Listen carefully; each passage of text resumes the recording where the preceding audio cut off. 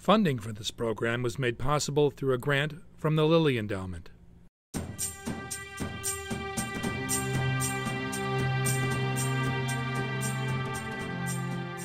In 1960, Billy Graham preached to crowds of Christians and Muslims on a vacant rocky hilltop near Africa's tallest peak, Mount Kilimanjaro.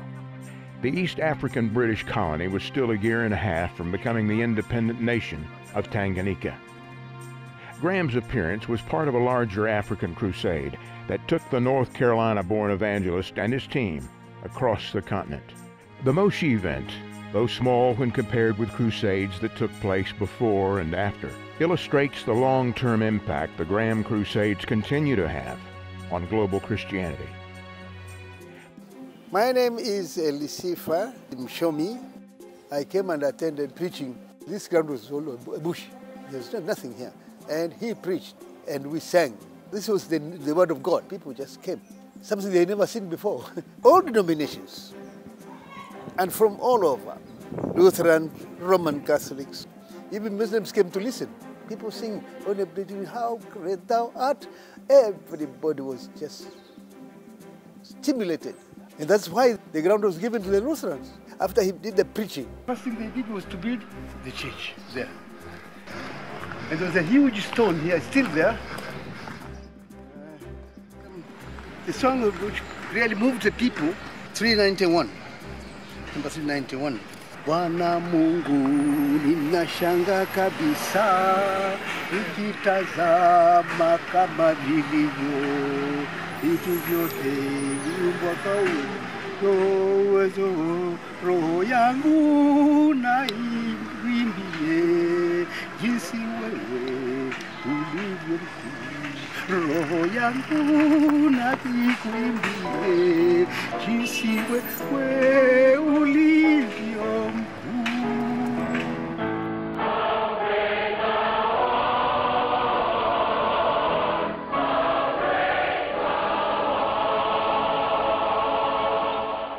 And if you haven't been to the foot of that cross and been washed in the blood of the Lamb. Between 1947 and 2005, Billy Graham preached to more than 200 million people across North America, Europe, Asia, Latin America, and Africa. Millions more watched live on television and radio.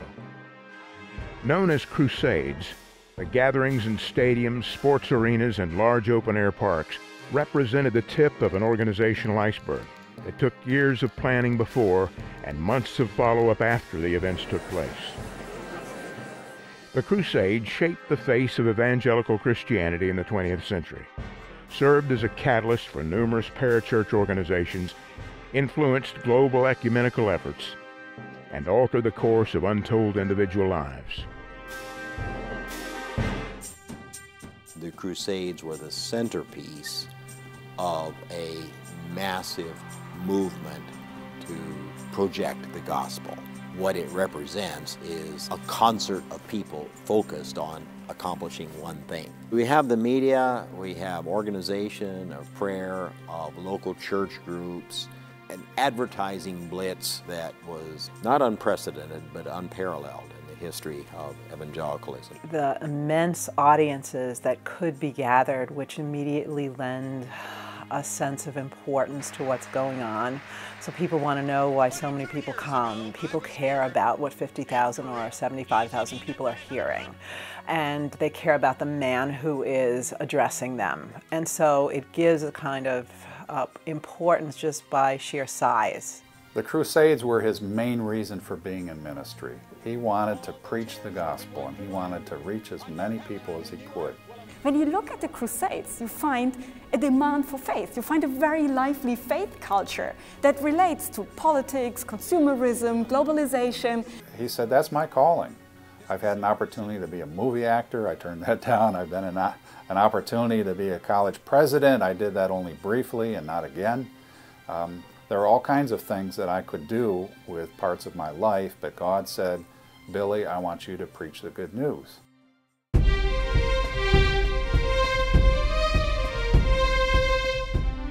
Billy Graham first came to prominence in the mid 1940s after graduating from Wheaton College outside Chicago. While serving as the pastor of a small suburban church, Graham achieved initial success through the burgeoning Youth for Christ movement. Graham became the organization's first paid employee and spoke in rallies throughout North America and Europe. During a brief experience as a college president at Northwestern College in Minnesota, Graham launched into a full time ministry as an evangelist. He quickly drew together a team, the core of which worked with Graham through the duration of his ministry. Mr. Graham just didn't show up in a city or say, hey, let's rent a stadium and advertise it and see who shows up.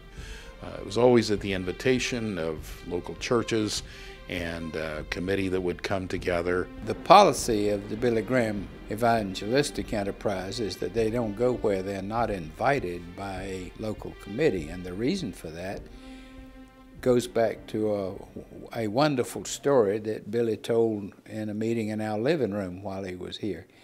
And that is, he said, after the uh, team got organized, and I think after they had their first crusade in Los Angeles, he gathered the whole team together for a day's retreat, and he told them each to go to their room, pray, and think about how Satan had attacked the work of prior evangelists, and then they would come together that afternoon and see what kind of defenses the Lord would lead them to erect against such attacks.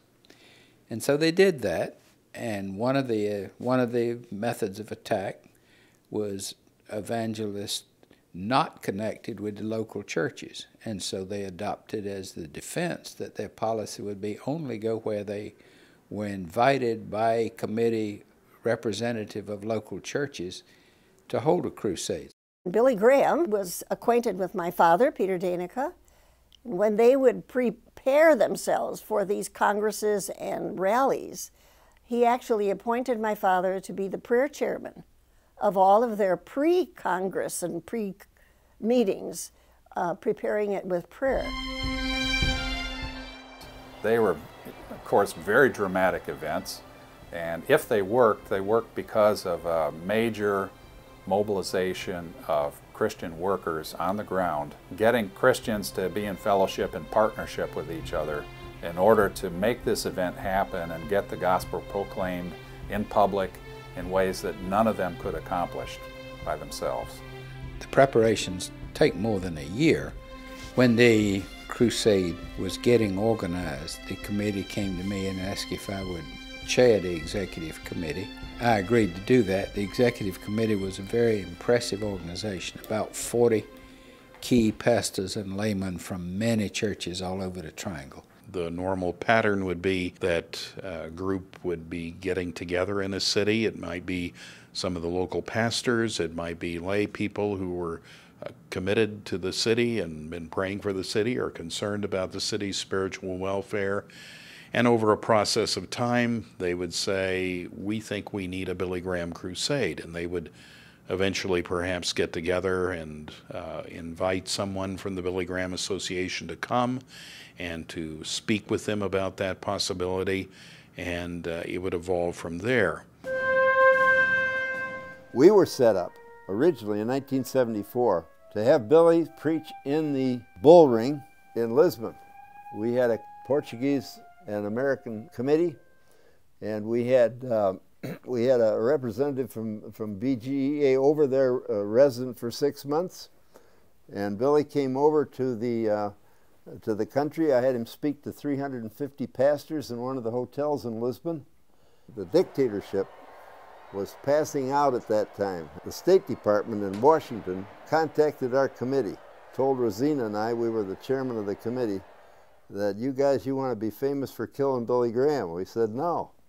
Well, if you proceed with this, uh, we have no security in Lisbon. We have no security for his life. In any stadium in the States, we clear everything within rifle range of the pulpit. We can't do that in Portugal. Now, we'd been after him for 14 years. He was accepting an average of 3,000 requests for crusades per year, he told me. And he picked eight. And we were one of them.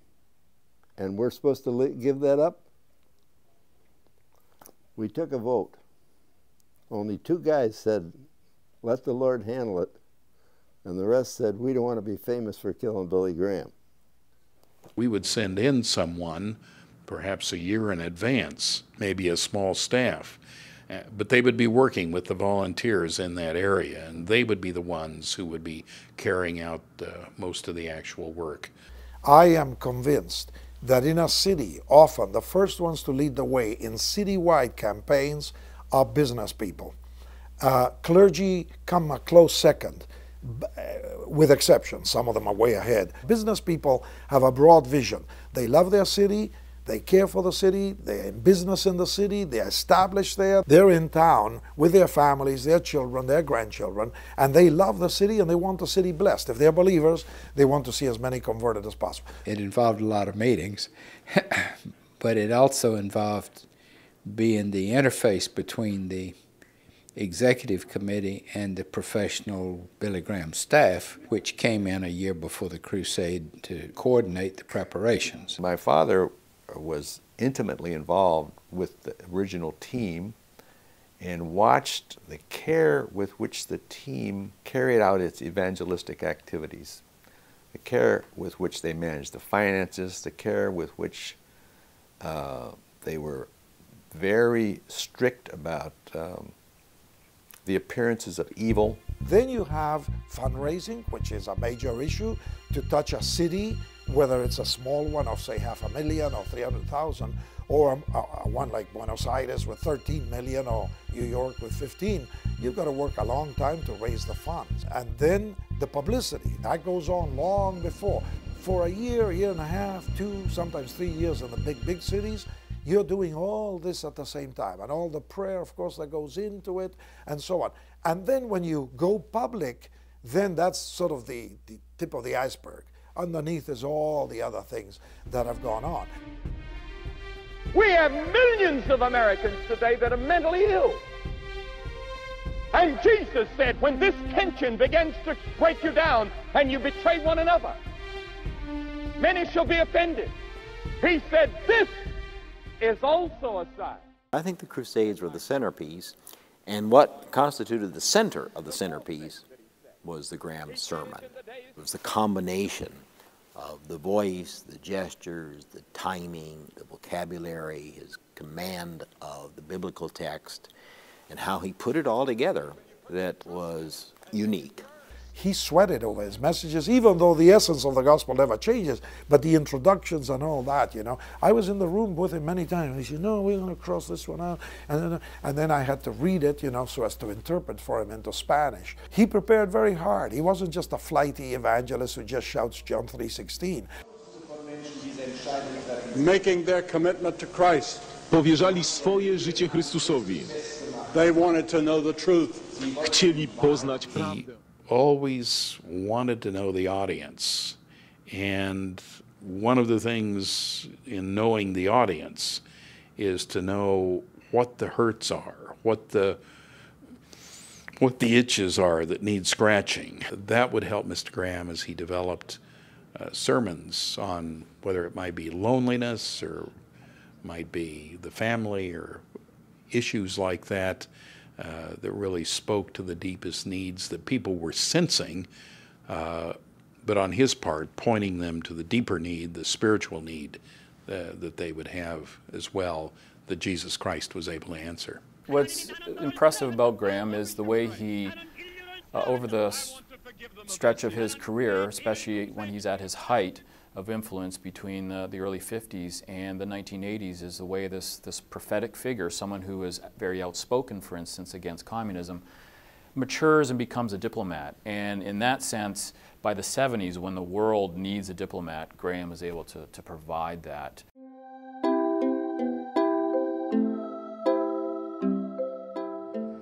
Southern California really by 1949 was ready for this kind of outburst of revivalistic energy coupled with the baby boom beginning at that very moment. Los Angeles is, by the late 40s, really the epicenter for uh, growth uh, and for really a new vision of America. And so the churches respond to that. They are growing rapidly, they are growing also in wealth, and they are looking for opportunities to increase their influence and also win new converts to Christianity. And Billy Graham uh, a young man who's just emerging at this point, uh, strikes them as the perfect individual to uh, kind of lead this revival. I do not believe that any man, that any man can solve the problems of life without Jesus Christ. The scene is set for Billy Graham. He steps into it, and because of his natural abilities, his charisma, uh, his dynamic outlook, which meshes with the kind of prosperity and with the excitement of the era,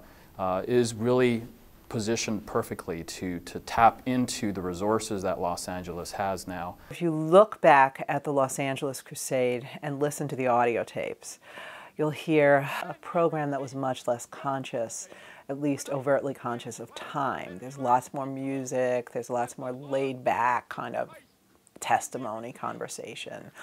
Um, it was more in the tradition of an old fashioned tent revival. Journalists created Billy Graham as a national and international phenomenon uh, in that 49 crusade. Notably, William Randolph Hearst, who uh, was the owner of the Los Angeles papers. By the late 40s, his name has become a journalistic commodity. Billy Graham is able to uh, conceive of and construct a, a, revival, a gathering that attracts people across denominational lines and also across cultural and political lines. Uh, and that too is going to become essential to the success of this revival and also its long-term impact.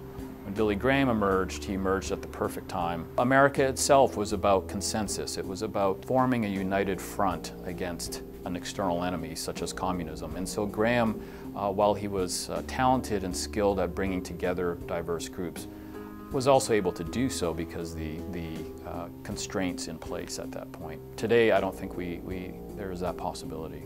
Los Angeles will at that moment really become, again, for his own ministry, uh, the access point, the launch for a ministry around the world, uh, and especially into Asia and across the Pacific.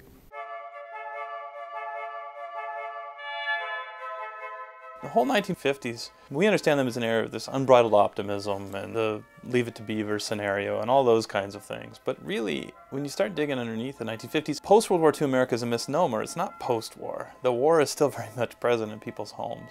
As the Cold War went on, people became aware that this was a very dangerous situation.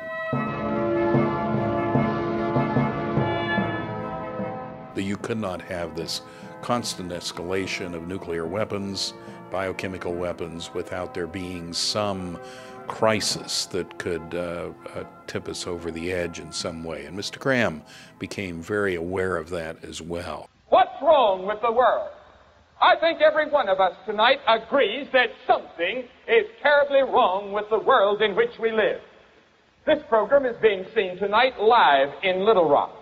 And today in Little Rock, Arkansas, they had a booth which illustrates racial tension that is sweeping the nation. Not only in the South, but other parts of the nation as well. Why do we have these tensions in life? Why do we have these explosive problems in every generation?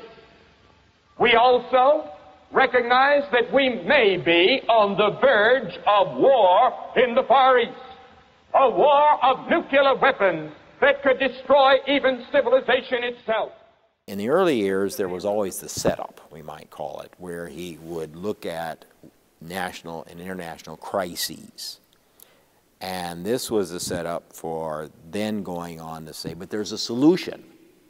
There's a solution to personal crises, to national and international crises, and that solution lies in the transformation possible in Christ. During the early part of Mr. Graham's ministry on through the 60s, uh, the Cold War was, uh, can I say, aflame. It was very much a reality, and it was a reality on both sides in terms of uh, the politics. Billy Graham's anti-communism in 1949 is pretty strident and pretty aggressive, and he will continue to speak in those terms uh, for quite some time, and it's little wonder that he does so.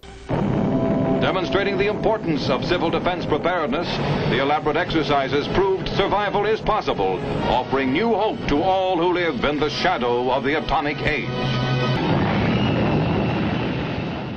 It really is an era of promise and peril, and I think that's also why Graham and other Protestant figures in the period were influential and had an audience because they're speaking to these kinds of concerns. There was a lot of talk about religion, not just in theological circles, but also in intellectual circles. And this all relates in a broader sense to the Cold War, because there was not just this narrative that we have to be a free world, but there was also this idea this free world could be a Christian world, like the old Occident, something that was not just brought together by democracy, but also by a higher moral order that you could call Christian.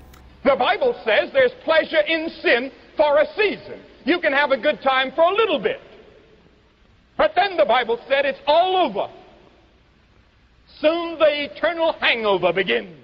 The context is ripe for someone speaking about issues of ultimate consequence and significance, which Graham is doing. He's tapping into this age of anxiety, experience of loneliness, anxiousness, etc there are already forces at work that he is, yes, pushing along, but he's certainly in, in the right moment.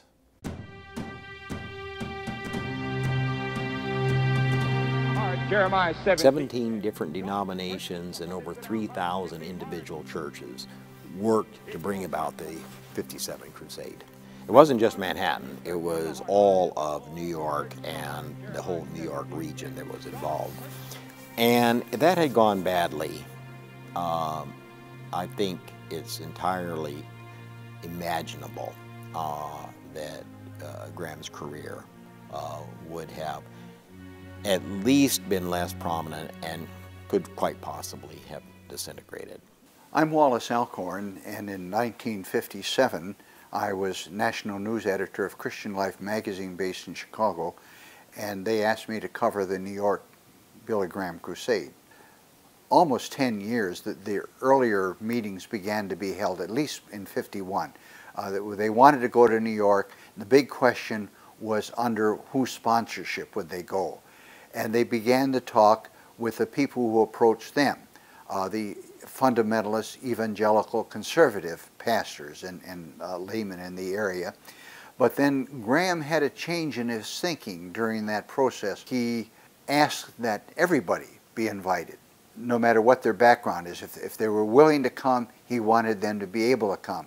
And he wanted the churches that would not uh, traditionally become involved to become involved, and he needed the support of them. The New York Crusade actually started three years before it started. I say that because uh, an invitation was issued to Graham in 1954, and he declined it. The reason he declined it in 54 is because it did not come from a wide spectrum of churches. It came from evangelicals alone. And Graham was determined that if he went to New York, it would represent the consensus of the majority of churches in New York. My name is Gene Smiley, and I attended the Billy Graham Crusade in Madison Square Garden in 1957.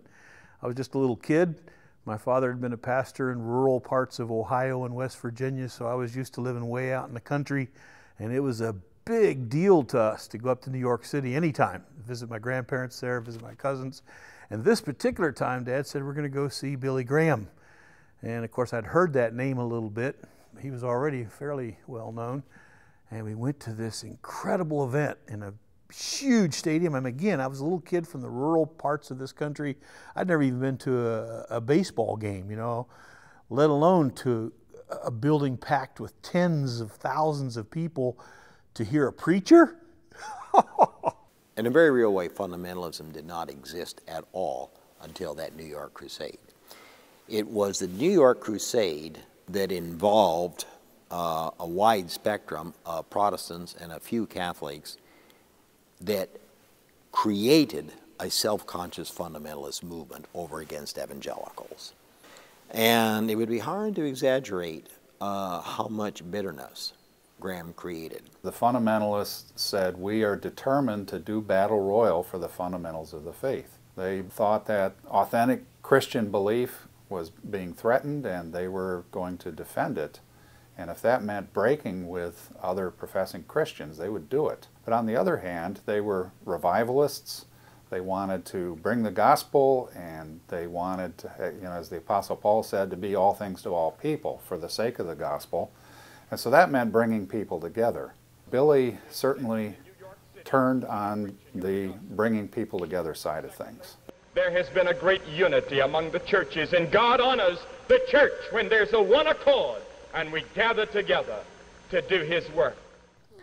What I thought of myself before that as belonging to this little sect, as it seemed, kind of a minority little group uh, in the society, all of a sudden it was a different feeling. You walk into a building and there are tens of thousands of people all singing these hymns. It was like, whoa, this is much bigger than I thought.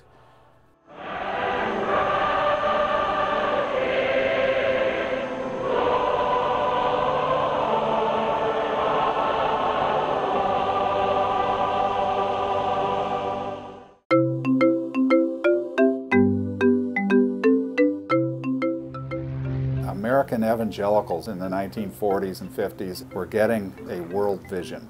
They had been a mission sending people already.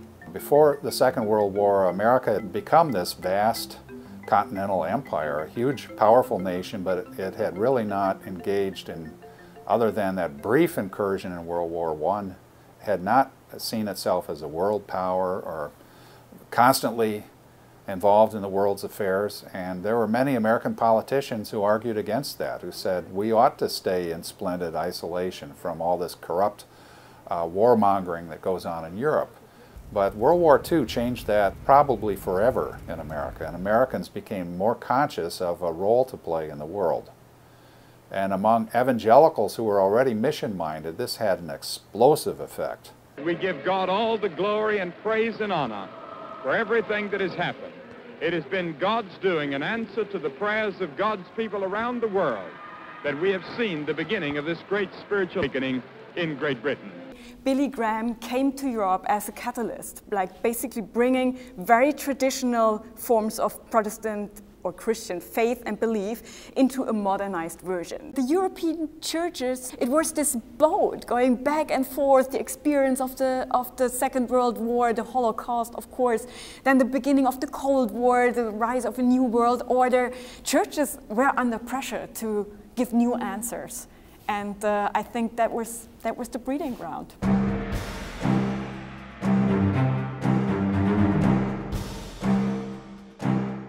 There was a transatlantic circulation of evangelists between North America and Europe, especially the United Kingdom, that goes back to colonial days. That was what Mr. Graham did in England. There was a huge debate going on in theological circles, but also among priests and um, ministers. How could a modernized faith look like? And Billy Graham brought the answer. So it was a really abstract discourse about theology and how to like make the faith more attractive for the second part of the 20th century. And then Billy Graham came over and said like, oh, it's easy. You just have, you need a very traditional message, but basically advertise it, sell it. I mean, combine it with what we call the rise of consumerism. I mean, that was very appealing. So when Billy Graham came to London in 54 as part of his first uh, European crusade, that not just took him to the UK, but also to Germany and uh, I think the Netherlands and Scandinavia, um, it was, I would say, the last time in Europe that we had a kind of a re-Christianization wave. There was a lot about talk about the Second World War and uh, how it related to secularization, and there was a real need to going back to religion. So there was some a demand for a product that was religious, spiritual. It's organized like a business, and so the first thing they do, they rent Haringey Arena. It's a big risk. It's a huge venue. It's a secular venue, so it's not a tent that is set up for the crusade, but it's already there. And usually it's a sports arena. It's, a, it's an event ground. It's, it's deeply secular, and it's going to be Billy Graham's, well, um, work to transform it into a kind of a religious venue. As we can see when we look at the people who go there, of course the Catholics are going as well. They are as curious as their Protestant Christian peers and they have the same questions. That is the important thing. So Billy Graham was able to answer the questions that Christians on different parts of the faith spectrum had. There's this big thing going to happen. I was going to be, I was 15, 1955, the Haringey Arena. and the controversy whether this American evangelist should come here. But our church was very keen on it. There was a, a retired Army Major General called Major General Wilson Haffenden who was very keen on Billy Graham, born again Christian, and that whole notion of being born again. Uh, and I was, uh, I was going along with it. I mean, one was caught up in it because it made one feel loved and, and cared for. And uh, so a lot of us went to Haringey. But I have one tremendous fear tonight. And the fear is this that you may be looking to a man or a team from America to bring revival. No man can bring revival. The Haringey campaign, I've heard of one significant evangelical leader after another who was either converted in that campaign or called to the ministry through that campaign. I don't know what it was about it. I think part of it was the fact that they had the intervarsity people really mobilizing and bringing in impressionable young Christians from Oxford and Cambridge. But that campaign seemed to catalyze uh, a, a, new generation of evangelical leaders in the United Kingdom and, and out into the Commonwealth. Is there an increase in church membership or not? And what you can see is, yes, you do have an increase in membership in London, for example, for the first six months after the crusade, but then it declines again. So I thought if you're looking for the real impact, when you're looking for the results, you have to look for something else that is not just related to numbers. And I would say, on the one hand, he had an impact on the religious landscape because he basically steered and, and catalyzed debates that were going on in other churches about the same time. So I would say he had an incredible impact on how people related their faith to questions of politics, consumerism, globalization, basically the future of the 20th century. I think there he had a real impact. And I think that people who attended the Crusades, even if they stepped forward or not, Billy Graham changed the way they basically expressed their faith in the future, the way they talked about their faith. I think there definitely is an impact.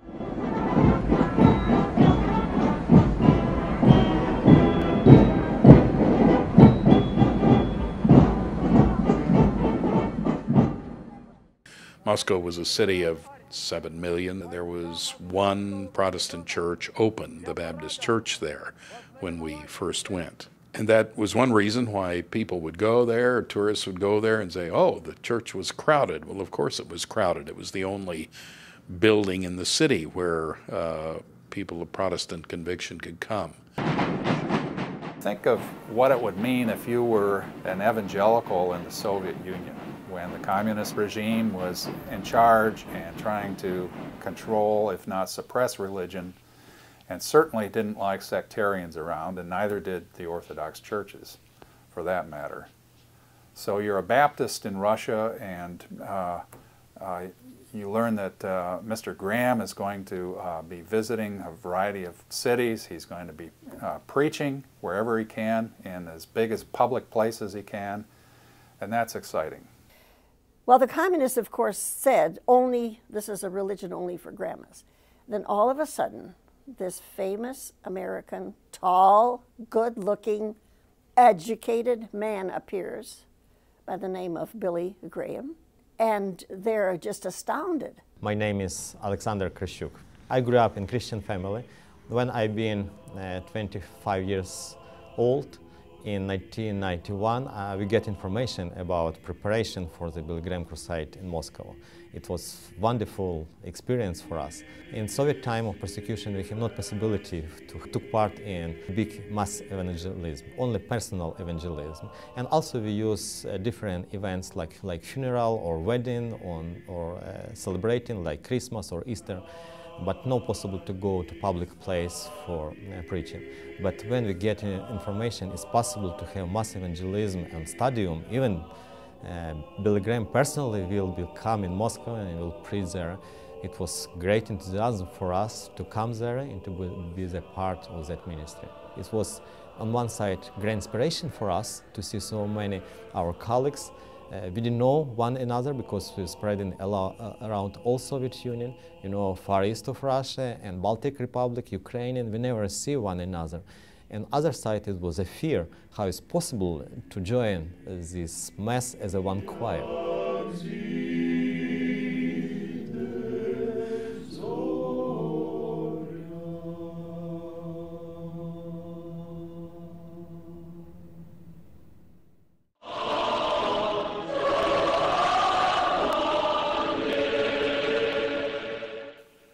Central point of the crusade that took place in Seoul in May of 1972 is simply the massiveness of the response. And it took place on a tarmac, an abandoned tarmac in Seoul.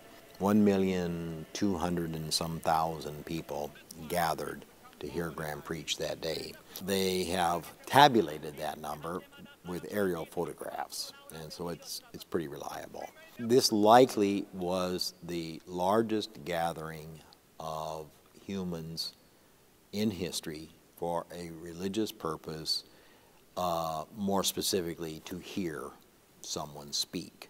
That huge campaign in, in Korea that uh, probably set a record in attendance, but also brought encouragement to the churches in Korea. He loves you so much that if you had been the only person in the world, he would have died for you. 당신을 그만큼 사랑하셨기 때문에 당신이 이 세상에 혼자 산다 하더라도 십자가에 돌아가셨을 겁니다.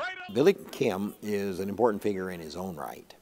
Um, he was a graduate of Bob Jones University, and uh, by all accounts, uh, his rendering of Graham's sermon in Korean uh, was as charismatic as Graham's initial presentation. And so it was a one-two punch. It was Graham and, uh, and Billy Kim. A different context than the Soviet Union, but the similarity is Christianity is a minority group. Here, major attention from American leaders, many people who had a heart for Korea reaching out once again in their direction. The eventfulness of the proclamation of the gospel in front of the hugest audience ever assembled under the care of a network of Christian leaders as never assembled before. That was a remarkable event, and I think one of the things that, that helped to encourage and stimulate something that was already on, going on in South Korea, but the evidence of it was to be seen in the 80s and 90s, and that is rapid church growth.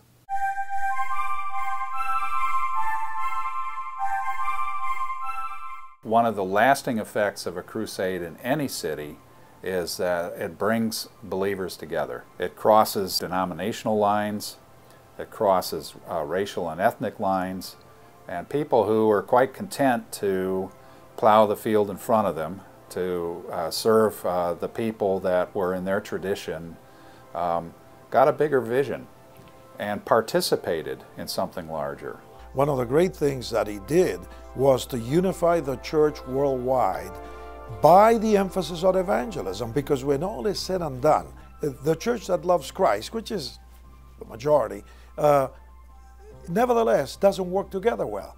The one thing that brings people together is evangelism. It's about the only thing. Everything else is up for grabs, and debates and arguments and so on. And Mr. Graham was an example to us all. One of the effects in virtually any place where Mr. Graham has gone, and it's, it's certainly intended on our part, is that churches do come together. And time and time again, you have pastors saying, I never knew him. Here he is down the street from me in another church, another denomination. I never knew him, and here he is, my brother in Christ here are my sisters in Christ. Uh, it's a remarkable thing how the Christian community does come together because of a crusade. It was definitely Billy Graham who had this ability to bring people from all different faith backgrounds together, and that is one of his like most important strengths, I would say.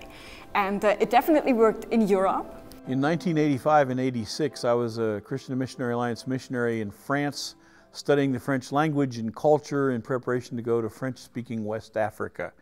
And during that year that I was there, many, many churches throughout France were preparing for the Billy Graham Crusade. It was going to be in September of 1986 in Paris. He brought people together who, whose churches were two blocks apart and yet whose people wouldn't speak to each other for decades. There in France, where in particular you have a really heightened individualism and isolationism, and Billy Graham Crusade basically says, We're coming to town we, we want you all to cooperate and we want you to work together and prepare. People uh, were encouraged by that. They, like Elijah, thought, only I am left, only our little flock here. And lo and behold, you see the Lord's been doing work in all these other uh, corners of the city too. It is one of the results. Oh, the unity. I met people I never knew existed and we love each other. And the unity is one of the best memories that remain out, out of a festival.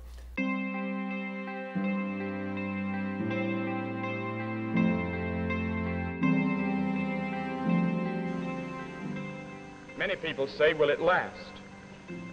Somebody asked Billy Sunday if his revivals lasted. Well, he said, maybe it doesn't last in some aspects. He said, neither does a bath last, but he said, you need one once in a while. The, the evidence is overwhelming that most of the inquirers, or converts, if you wish, were not sky blue conversions. Uh, the overwhelming majority were people who made a recommitment of their lives in the Graham meetings. They adopted a whole three method follow up technique in which the person who comes forward is counseled and fills out the card. Then they get a mailed Bible study packet on the Gospel of John and follow up cards that call for a response back to Minneapolis. Okay they get the card gets sent to a local pastor of a church or denomination of their choice. If that pastor doesn't respond that he has contacted that person within a couple of weeks, it gets sent to a different pastor. Five years later, I was called as pastor of a church on the Jersey, on the North Jersey shore. And of course, one of the first things that I needed to do is get to know my people. I needed to know, know who the leaders were, could I rely on them? I needed to know who were inquirers, who were interested in the gospel and, and who were actually Christian believers because they'd accepted Christ as their Savior. So one of the crucial questions was, uh, did you ever make a decision to accept Jesus Christ as your Savior? And if so, when and where was that? What were the circumstances? And people would look at me uh, almost with a blank look on their face and say, well, why should you ask? It was at the Billy Graham meetings. Bob and Lois Ferm were an interesting couple. They both had their impact in terms of our understanding today of the long range impact of the Crusades. Lois had a doctorate in library science and she was very skilled as a researcher. And she was given the commission to go around after Crusades and particularly talk about with the leadership of those Crusades, how the crusade had been organized, uh, what problems there were, what uh, impact there was, things like that. Mr. Shapirsky is the arrangements chairman for this crusade and was also doing that same task back in 1964. And you, well, you were telling me that your mother was in the 1949 Billy Graham Crusade on Washington Hill Street in Los Angeles. That's right. That was the one where they had the big tent, and I believe it was the his first large uh, campaign. And she acted as a counselor. She um, had uh, 10 people that were given to her for uh, follow-up counseling. Eight years later, and two of them were uh, pastors and two of them were deacons in churches and an excellent That's record. a pretty high batting average. Now, did these folks... Bob Ferm was given the uh, commission to really look into the question of what impact on an individual level does a crusade have. Uh, because after all, uh, a lot of the criticism about uh, mass evangelism uh, is that it just comes and goes and vanishes. There's no long range impact. And after all, that's true sometimes. When Mr. Graham brought Bob on, he realized this gift that Bob had for meeting with people and eliciting from them uh, their concerns in a low key kind of way, answering them by developing a questionnaire that he would give to people who had genuinely been touched by the crusade, and ultimately not by the crusade alone, but by the gospel, their commitment to Jesus Christ, and their involvement within the larger Christian community. Mr. Robert O. Ferm, Director of Research. Please forgive me for writing a letter in place of filling out the enclosed form. There just isn't enough room. The early years of my life were a living hell. Six years ago, God called me through Billy Graham over TV. My story is a miracle. He never attributed it to himself. He always said it was God working through me who changed those lives. We cannot overstate the importance of the teamwork, not just teamwork, going on to that, a very special kind of teamwork, collaborative, deep friendship that developed between uh, Graham and Shea, and then Graham and Barrows, and then Barrows and Shea, and that included their families and their children. So this was really a familial closeness. And the fact that these people stayed together for nearly 60 years, so, so that the same voices, the same principles, the same sound, you could bring five other groups. You could bring DC Talk and Michael W. Smith and Kutless, and all these people could come up. But in the end, Bev Shea was going to come up and sing before Billy Graham preached. And in the end, there was going to be the choir with Just As I Am. So there's a sameness, there's a signature sound that doesn't exclude what's new, variety, um, kind of what's springing up from the grassroots, and yet is faithful to itself. The kind of uh, global interconnectivity we see today, the eager reporting of church news from around the world in Christian magazines and media in the United States, um, the uh, ready exchange back and forth of Christian leaders and workers between the U.S. and uh, other parts of the world. And more and more people coming our way now too. Mr. Graham and the, and the Evangelistic Association were some of the first Americans to start to build those networks, make those ties of fellowship and partnership. So I think uh, they deserve some major credit as being pioneers in all of this.